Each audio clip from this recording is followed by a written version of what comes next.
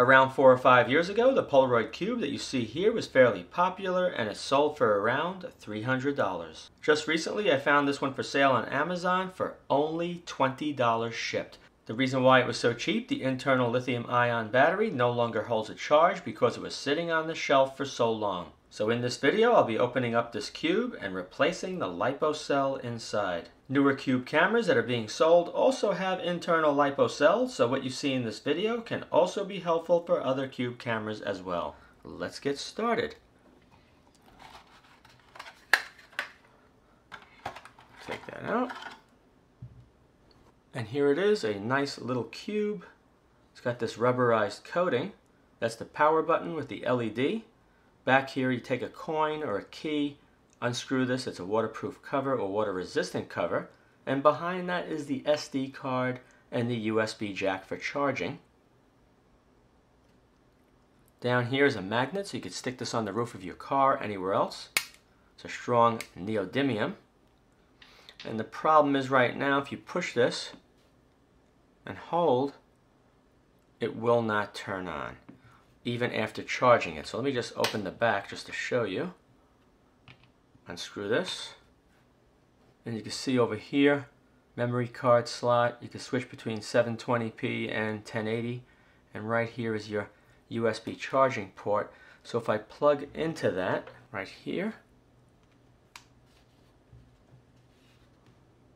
you can see it powered up. All right. And went from yellow to green. So it does work fine, but if you leave this charging for like four or five hours and come back and you separate this, you go to power it up, you get absolutely nothing. So 100% the battery is cooked. So in order to open this, the first thing we have to do is pull off this front cover. Take this tool and just get under it.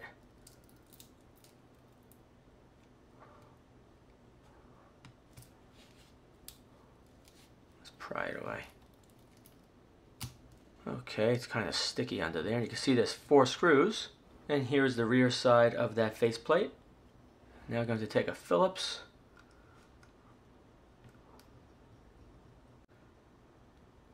Okay. Now, let's see if I could set, pull this apart. You can see there's a space right here above that rainbow band. I'm going to get my single edge razor blade and shove it in there. Just be careful when you do this that you don't cut yourself. Oh, it just snapped back. Okay. Now let's try it. That is tight, guys. That is really on there. Not easy. This side's ready to go. Gotta separate this side and both shells will separate. Let me keep working that right there. Okay, getting it, finally, there we go. Okay, so that looks pretty good. Separated now. So let's just... That's one side.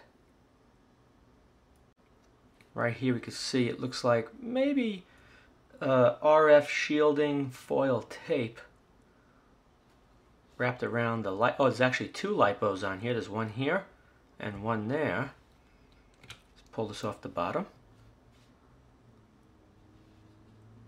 There's the seal. Right here is like a notch where that goes. Careful, this has to go back. Okay.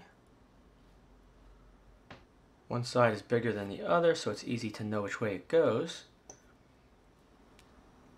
Right here, you can see it's just two lithium polymer cells in parallel this side has wires going to the board, and then from this cell here you have two wires, a black and a red, going to this one here. So both are in parallel to increase the milliamp hour capacity to give the camera more runtime. So let me peel off this tape first.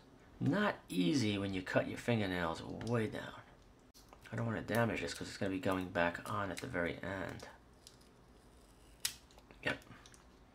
Perfect. Just keep going with this.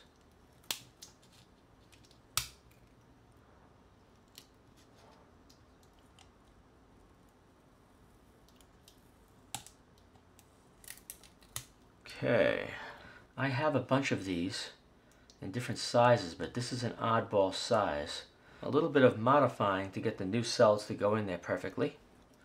Let me see, let's take this one away first. Let's just pull this away from the side of the camera. Oh, they're separated very easy.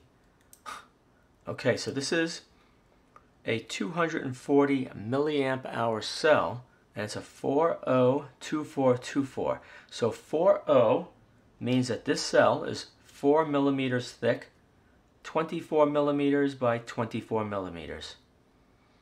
I'm not going to have the exact size, so let's see what I can do here. And this is a very heavy wire here, going to that one side. Let's pull this side apart. So this is what we have right there. The lipo cells I have are these right here. And you can see they're also 4 millimeters in thickness, 20 millimeters in width, so they are a little narrower and they're a little longer. So I think I can get them to fit right in there. We're going to find out. Let's put these to the side. This Kapton tape is pretty strong stuff. I don't want to cut the lipo, just want to trim this. That should let me tear it now, good. Let's just trim this positive off. And the negative. Get rid of this. With this cell removed, you can see right over here we have a white, red, and black wire going to that board on this lipo cell. The new lipo cell only has two wires going to it. So I'm going to have to desolder the board on this lipo cell, reinstall it on the new lipo cell, and then the other lipo cell that has the board on it, we're going to remove that and solder the red and black directly to the lipo cell. So let me pull this apart a little bit more so we can get in here. I need to separate this from the positive on the cell. So let's just try this first. Let me take the red wire off.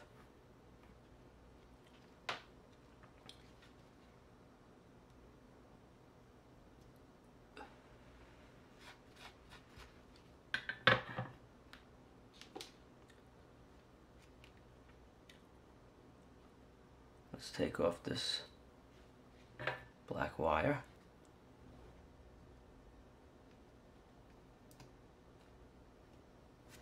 Now I need to take this off of the lipo cell.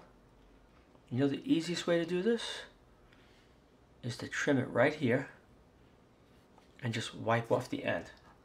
So what I would do is I would go pull it out a little bit, just get right in between there and cut. All right, that's one side. And by doing that, now I can just take this and wipe it off. See? Wiped it away nice and clean. This side now I don't have to cut. I could just go like this and it should come right off.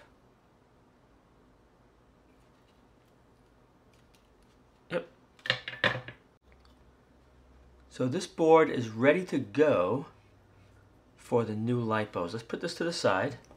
The next thing I did was remove the tape from this end of the lipo cell. And you can see right here, it's spot welded to the board and spot welded here. I'm going to identify which side is positive, write it on the battery very gently using a marker, and then I'm going to cut very cleanly just below each one of the spot welds. Right here is the lipo cell in position just below the bottom here, which is fine. It will still close. The only problem is the very top is a little longer. So once this is soldered to this board and the two wires head over to the opposite side to place the other cell in parallel, I'm going to need to fold this whole top edge down that way. So it's going to end up in this area right here. And by doing that, it will be within the limits allowing this to close. So let me get this soldered on. Right here you can see the lipo cell is now soldered in position. The positive also has the red wire going to the opposite side. And on the negative we also have the black wire leading to the other cell. Now what I need to do is take this end very carefully, fold it over this way, so when it's in here it will lay flat right in this position. Right here is the lipo cell in position with the Kapton tape You can see it wraps on this side, over, under the other side, and down the side of the cell. This will definitely close. Right there you can see. And it sticks flush with the bottom. So that's perfect. So now let's go to the opposite side. The next step is to take the other cell which is all ready to go. The board has been removed. You can see the positives identified. I'm going to position this on the opposite side and I'm going to bend it in the same way. Solder the positive to the positive, negative to the negative, wrap it in Kapton tape, and then we're going to do the full wrap again, put the metal shield on, and then give it a try. In case you're wondering, there's not going to be any interference in this area or the button because I already examined the inside of the cover. Both lipo cells are now in position. There should not be any issue with the covers going back on. And you can see the foil tape is back in position. Back inside, everything is seated perfectly, the gasket all the way around. The top should go on perfectly, so let's see.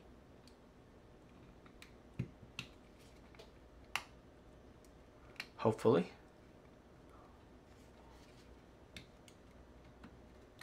Yep, look at that. That went together perfect. Perfecto. Snap together nicely. Let me put the four screws back in. Now back together. They get one drop on my lens tissue. Gently rub over the lens. take a dry spot.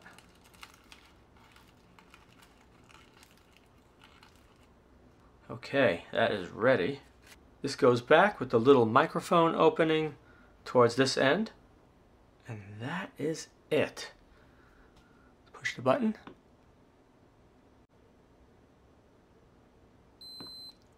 Yeah, there we go. Now we power up. Before it would not power up. Probably an indication there's no SD card or the battery voltage is low. So let me plug this in and see if it goes off.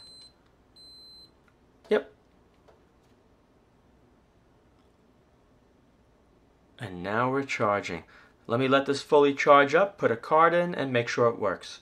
As you can see, the green LED is now on. That means the battery is fully charged. Now let me install the SD Micro.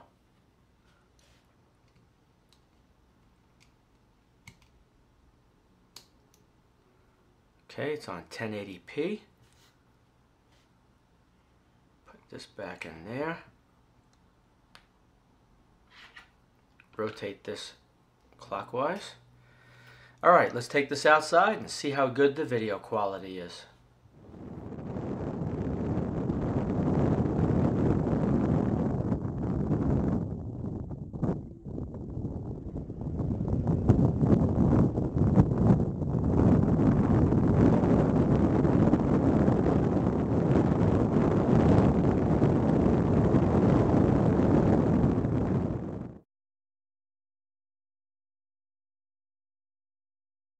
As you just saw, the video quality for this camera is pretty good.